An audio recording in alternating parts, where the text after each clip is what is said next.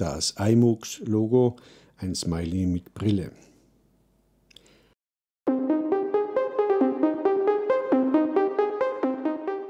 farbige Würfel und der Schriftzug Mekomuk. Verschiedene Szenen, in denen Laptops, diverse Apps und eine Videokonferenz gezeigt werden, untermalen das Gesprochene. Digitale Medien sind aus unserem Alltag nicht mehr wegzudenken. Sie erleichtern unser berufliches und privates Leben. Voraussetzung dafür ist, dass man digitale Tools kompetent einsetzen kann und die Vorgänge im Hintergrund versteht. Man sollte also digital kompetent sein. Vortrag von Gerhard Brandhofer. Im Hintergrund wird die Website Digicom dargestellt. Alle eingeblendeten Links werden im Transkript angeführt. Um hier die Übersicht zu bewahren, was Schülerinnen und Schüler können sollen, wurden vom Bundesministerium Kompetenzmodelle für bestimmte Schulstufen entwickelt. Unter der Bezeichnung Digicom sind diese Modelle gesammelt und veröffentlicht worden. DigiComp definiert Zielbilder der digitalen und informatischen Kompetenzen, die Schülerinnen und auch Pädagoginnen und Pädagogen zu bestimmten Zeitpunkten ihrer schulischen oder beruflichen Laufbahn erworben haben sollten. Die DigiComp-Modelle sind in jeweils vier Bereiche gegliedert. Informationstechnologie, Mensch und Gesellschaft, Informatiksysteme, Anwendungen, Konzepte. Es finden neben den Anwendungskompetenzen also auch Medienbildung und informatische Bildung gebührend Platz.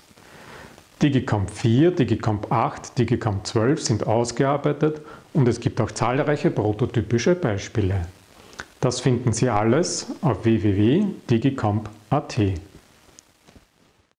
Einblendung der Website Education Austria.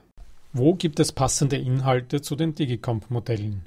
Beispielsweise auf eEducation.at unter Ressourcen eTapas. eTapas sind digitale Inhalte entwickelt von Lehrenden für Lehrende. Mit der Filterfunktion rechts lassen sich einfach für den eigenen Unterricht passende Inhalte finden. Stefan Schmidt spricht im Hintergrund die Website digi.check. Der DigiCheck trägt im Rahmen der DigiComp-Initiative des Bundesministeriums für Bildung dazu bei, dass sich Schülerinnen und Schüler sowie Pädagoginnen und Pädagogen jederzeit ein Bild über die persönlichen informatischen sowie digitalen Kompetenzen machen können und sich Pädagoginnen und Pädagogen jederzeit auch ein Bild über die informatischen und digitalen Kompetenzen ihrer Schülerinnen und Schüler machen können. Es gibt drei Varianten je nach Schulabschlussstufe, den DigiCheck 4, 8 und 12. Josef Buchner fängt ein Smartphone und spricht. Um digitale Technologie im Unterricht adäquat einzusetzen, braucht es auch digital kompetente Pädagoginnen und Pädagogen. Oder Stefan? Josef Buchner wirft das Smartphone in die Luft und Stefan Schmidt springt kurz ins Bild und fängt es. Stimmt schon. Schematische Darstellung des Kompetenzmodells. Daher wurde von der Virtuellen Pädagogischen Hochschule im Auftrag des BMB ein Kompetenzmodell für Lehrpersonen erarbeitet.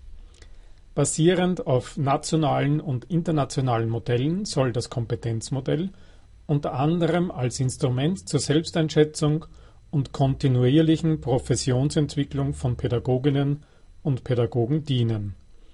Im dreistufigen Kompetenzraster werden jene digitalen Kompetenzen aufgezeigt, über die Studierende zu Beginn und zu Ende des Lehramtsstudiums und Lehrende nach fünf Jahren Berufstätigkeit verfügen sollten Stefan Schmidt spricht, dahinter eine Liste mit Links der pädagogischen Hochschulen in Österreich.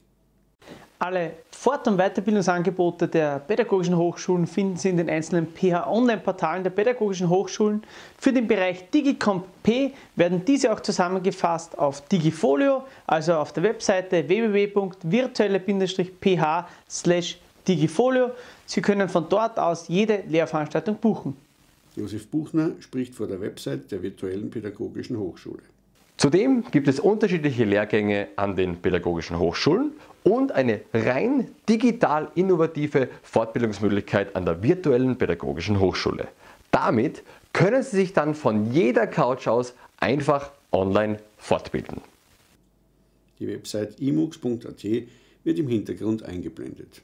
Weiters bieten auch Universitäten und Bildungsinstitutionen Weiterbildungsmöglichkeiten an. Zum Beispiel die Plattform iMOOCs, bei der Sie jederzeit Massive Open Online Courses belegen können.